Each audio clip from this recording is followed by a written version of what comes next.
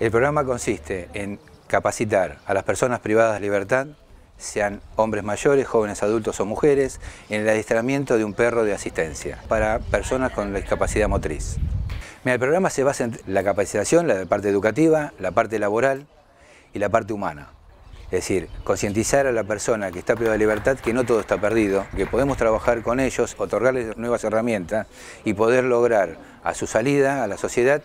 seguir con la capacitación en la universidad como ser adiestrador en la Facultad de Ciencias Veterinarias, en la Escuela de Educación Canina, o trabajar